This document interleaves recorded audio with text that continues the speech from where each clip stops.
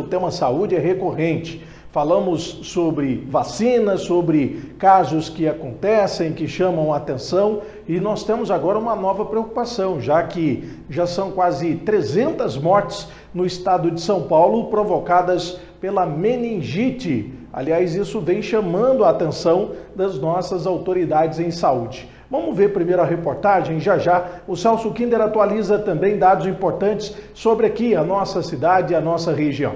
De acordo com a Secretaria Municipal de Saúde, o surto se concentra em duas regiões da zona leste da cidade, Aricanduva e Vila Formosa. Desde janeiro, aqui na capital paulista, foram confirmados 58 casos de meningite, com 10 mortes.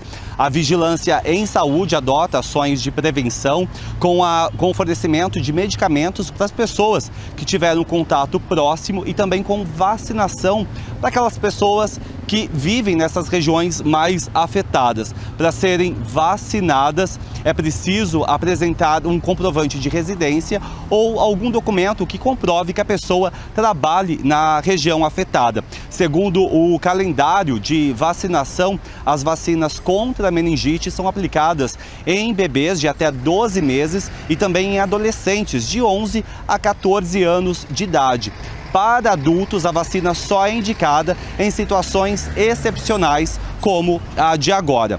No estado de São Paulo, o total de casos confirmados até agora é de 2.841 e até agora, em todo o estado, morreram 295 pessoas.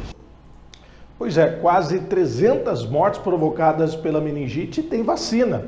Então a gente chama a atenção em relação a essa situação e eu quero que você também agora preste atenção, porque nós temos uma informação local, já que a Secretaria de Saúde também está tomando algumas medidas é, de vacinar aqui em Franca. 7 horas e 18 minutos. Quem vai contar e atualizar os dados, quem pode tomar a vacina, é o amigo Celso Kinder, direto da redação. Pois não, Kim? Vamos lá, Samuel. A Secretaria de Saúde de Franca está imunizando, portanto, os profissionais e trabalhadores que atuam na área com a vacina meningocóxica.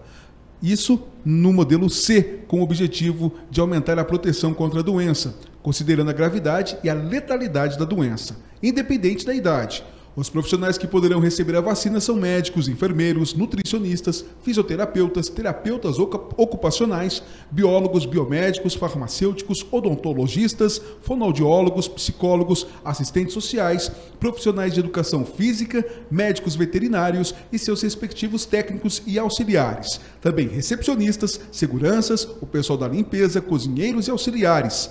Vale ainda para motoristas de ambulâncias e estudantes da área da saúde, nas UBSs Paulistano, Guanabara, Aeroporto 3, Brasilândia, Angela Rosa, Vila São Sebastião e Santa Terezinha, das 8 da manhã às 7 da noite, mediante apresentação de comprovante de vínculo ou carteira do referido conselho e comprovante de matrícula para os estudantes. Samuel Sintra. Pois é, sempre muito importante né, esse trabalho e é claro que a Secretaria da Saúde eh, torna como prioritária a vacinação de meningite para os profissionais da saúde, que é a linha de frente, que está ali, é claro, com as pessoas que procuram os postos de saúde, mas eu não tenho dúvida que essa vacina também deve ser ampliada para outros públicos, principalmente aí com esses números que vêm crescendo. Vamos torcer para que realmente Franca tenha aí a disponibilização das vacinas, que é uma forma de prevenção.